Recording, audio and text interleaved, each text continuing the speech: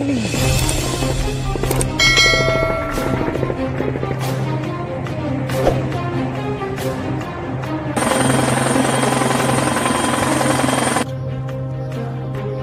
prajurit TNI dari Yonif Rider 400 gugur ditembak kelompok kriminal bersenjata Papua di Kabupaten Intan Jaya pada Jumat 22 Januari 2021. Serangan membabi buta KKB Papua itu dilakukan saat prajurit TNI usai melaksanakan sholat subuh.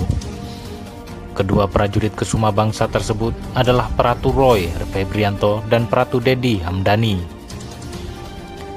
Kapen Kogab Wilhan 3, Kolonel JZI IGN Surya Stawa mengatakan, kedua prajurit TNI itu ditembaki KKB membabi buta. Satu di antaranya selepas ibadah subuh. Pratu Roy Febrianto yang ditembak secara membabi buta sesaat dirinya usai melaksanakan ibadah sholat subuh di pos Titigi Unif Rider 400 di Kampung Titigi, Distrik Sugapa, Kabupaten Intan Jaya.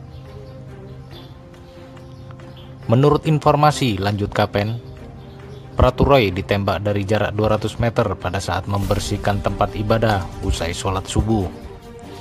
Sedangkan Pratu Dedi Hamdani dari pos Hitadipa gugur saat mengejar KKB yang menembaki pos Titigi. Dari arah ketinggian, di hutan yang terletak antara Kampung Sugapalama dan Kampung Hitadipa. Dua korban penembakan KKB itu meninggal dunia saat dievakuasi ke Timika dengan menggunakan helikarkal.